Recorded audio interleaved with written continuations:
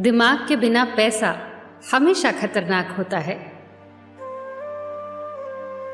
यदि आप स्वयं पर विजय प्राप्त नहीं करेंगे तो स्वयं आप पर विजय प्राप्त कर लेगा। कोई भी सुझाव, योजना या उद्देश्य मन में विचार को बार बार दोहराकर बैठाया जा सकता है। बड़ा वेतन और छोटी ज़िम्मेदारी शायद ही कभी एक साथ पाए जाते हैं। अधिकतर महान लोगों ने अपनी सबसे बड़ी सफलता, अपनी सबसे बड़ी विफलता के एक कदम आगे से हासिल की है। अपने विजन और सपनों को इस तरह संजोए, जैसे कि वो आपकी आत्मा के बच्चे हों, आपकी उपलब्धियों की मूल योजना जीवन में आपको जो भी अवसर चाहिए, वो आपकी कल्पना में प्रतीक्षा करते हैं। कल्पना आपके मस्तिष्क की कार्यशाला है, जो आपके मन की ऊर्जा को सिद्धि और धन में बदल देती है।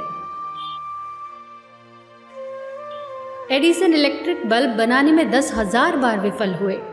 यदि आप कुछ बार विफल हो जाते हैं तो हिम्मत मत हारिए। कोई भी व्यक्ति उस क्षेत्र में सफलता प्राप्त नहीं कर सकता, जिसे वह पसंद न करता हो। अच्छी तरह से जान लीजिए, आपको आपके अलावा कोई और सफलता नहीं दिला सकता। हर एक कामयाबी और दौलत की शुरुआत एक विचार से होती है। डर, मन की स्थिति के अलावा और कुछ भी नहीं। अपने ध्यान को एक सुदृढ़ लक्ष्य की ओर लगाइए और महसूस कीजिए कि सारी दुनिया आपके लिए रास्ता देना शुरू कर देती है। आमतौर पर महान उपलब्धियाँ महान बलिदानों का फल होती हैं और कभी भी स्वार्थ का परिणाम नहीं होती। ये सचमुच सत्य है कि आप दूसरों को सफल होने में मदद करके सबसे तेज़ी और अच्छे से सफल हो सकते हैं। पाने से पहले दीजिए। किसी कार्य को खूबसूरती से करने के लिए मनुष्य को उसे स्वयं करना चाहिए।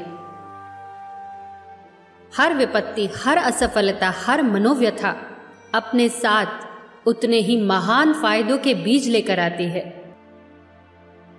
आपका बड़ा अवसर शायद वही है। जहाँ आप अभी हैं। धैर्य, दृढ़ता और कड़ी मेहनत सफलता के लिए एक अपराजित समीकरण का निर्माण करती हैं।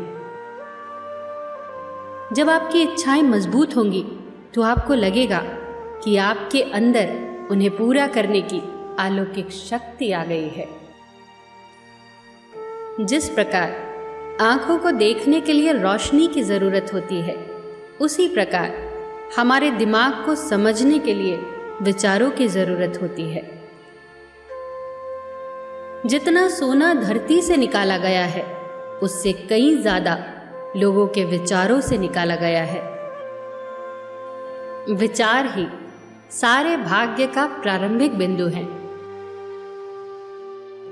इंतज़ार मत करिए, सही समय कभी नहीं आता। सफलता की सीढ़ियों पे शिखर पर कभी भीड़ नहीं होती। हमारा मस्तिष्क हमारे अंदर चल रहे विचारों से सम्मोहित हो जाता है और यही सम्मोहन हमारी तरफ़ शक्तियों, लोगों और परिस्थितियों को हमारे विचारों की शक्ति के हिसाब से आकर्षित करता है।